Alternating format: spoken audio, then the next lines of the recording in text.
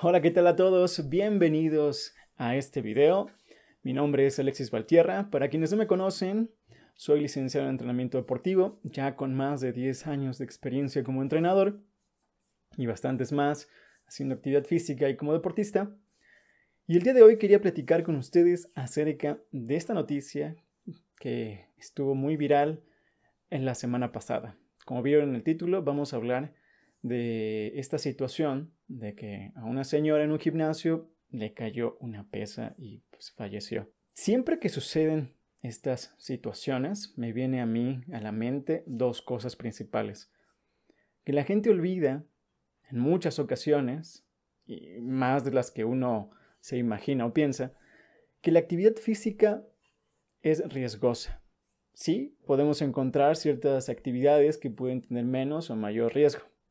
En el caso de un gimnasio de pesas, es bastante riesgoso en cuestión de integridad física, porque se mueven o se movilizan pesos externos al cuerpo, porque corremos el riesgo de que algo nos caiga encima, de hacer mal un movimiento y que los pesos nos lleven nuestro segmento corporal en alguna dirección equivocada, etc. Lo cual me lleva al segundo punto, que siempre tengo, que siempre pienso en estas situaciones.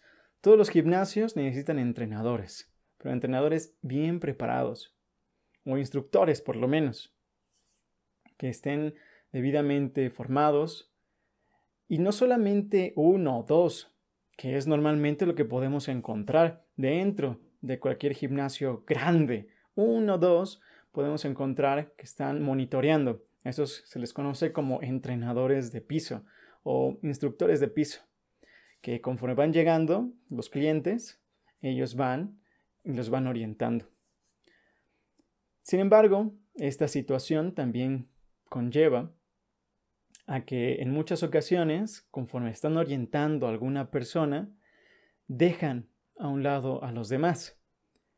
Y es cuando la gente nueva, que apenas comienza, eh, o gente que simplemente no quiere este, que los estén cuidando, pues corren un riesgo de lesión mayor. Que se le dé más importancia al instructor, al entrenador, porque además de lo que estoy mencionando,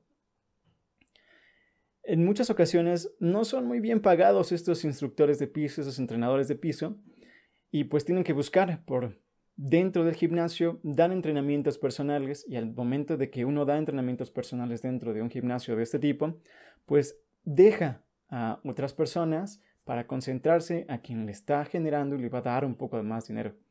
Bueno, aquí ya me estoy yendo por las ramas, pero a lo que voy es que se le da en general poca importancia a quienes están ahí dentro de un gimnasio cuidando a las personas. Pero un entrenador, un instructor, tiene justamente esta función dentro de un gimnasio. O una de las funciones, además de potencializar las capacidades físicas y ayudar a conseguir los objetivos de sus clientes, de sus atletas, lo que sea, es darle seguridad a la actividad física, o sea, disminuir el riesgo lo máximo posible, cosa que en esto no sucedió.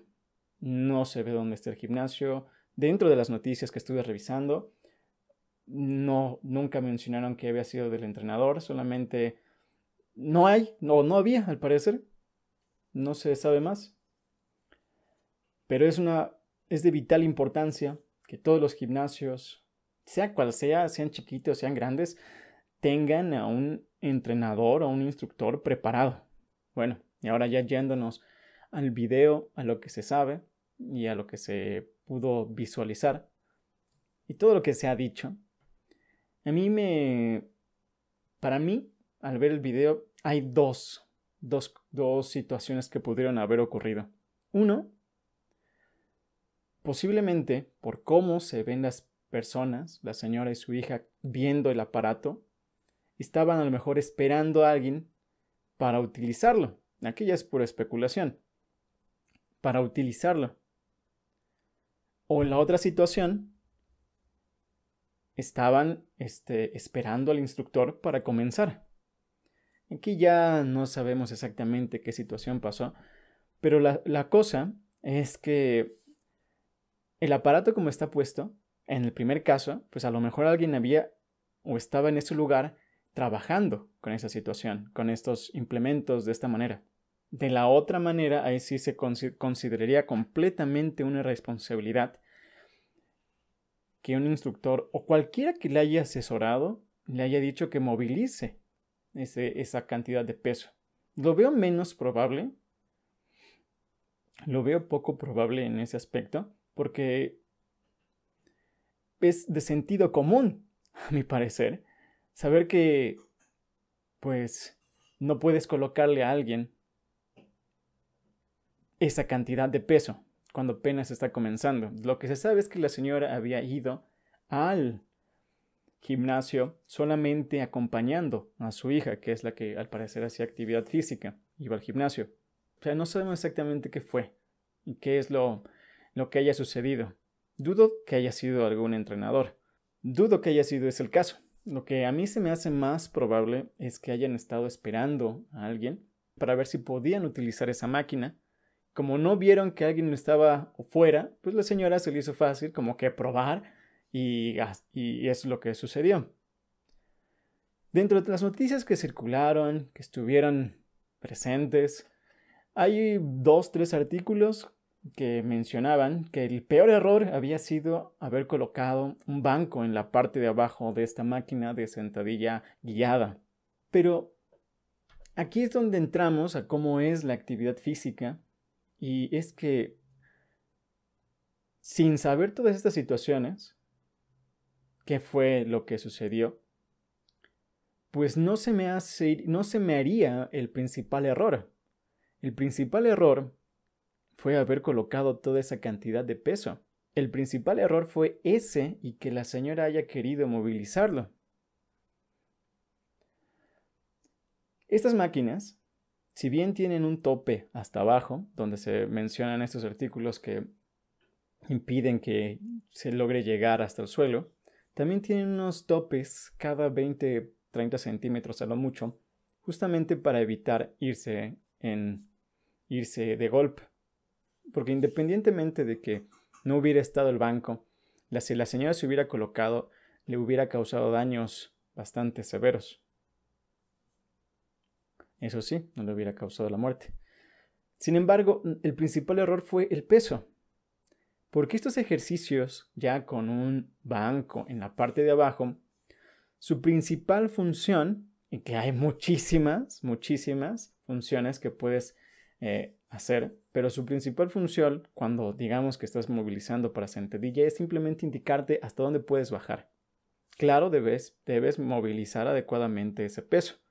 Sin embargo, para mí es simplemente una muestra de que todos los gimnasios necesitan estar siempre atentos de sus clientes. No solamente es abrir un gimnasio porque tienes los recursos, también necesitas a la gente preparada, porque siempre van a suceder ciertas situaciones.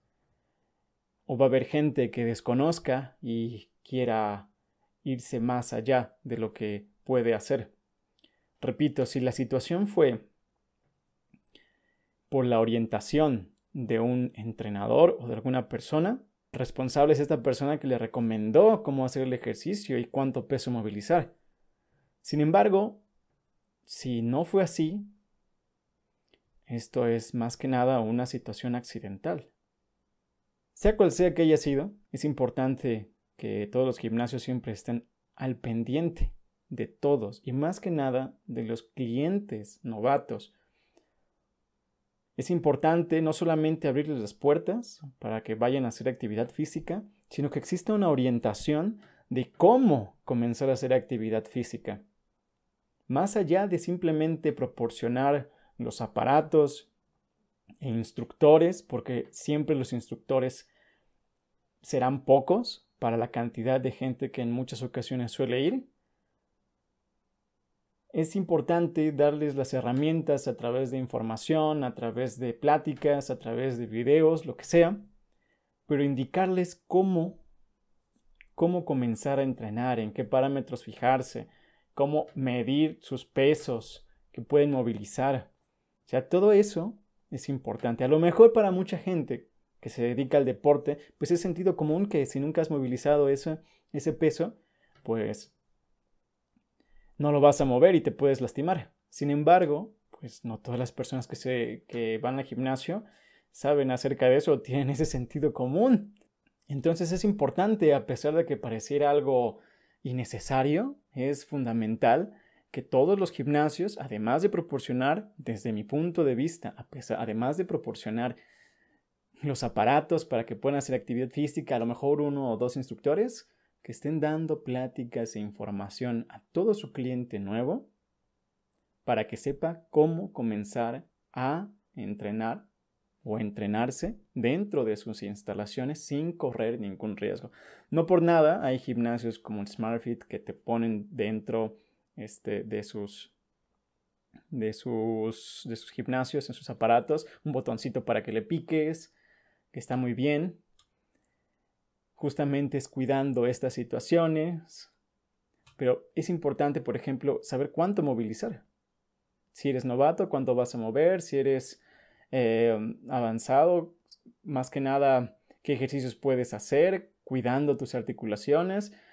Entonces es importante toda esa orientación más allá de proporcionar las herramientas en cuanto a aparatos y en cuanto a instructores, porque, como repito, no siempre, eh, no siempre están disponibles por la cantidad de gente que, llega a esos gimnasios. Hasta aquí dejo este pequeño video. No hay mucho más que decir. Lo demás serían solamente especulaciones. Decir que cuál fue el error fatal, porque podremos verlo desde muchos puntos de vista. Bueno, al final de toda esta noticia, pues están haciendo investigaciones. A ver si nos dicen exactamente a qué conclusión llegan, si la hacen pública. Pero bueno, sea como sea, déjame tu opinión, qué sabes o qué piensas acerca de estas, de estas situaciones. Y pues me despido, nos estamos escuchando, nos estamos viendo en otro video.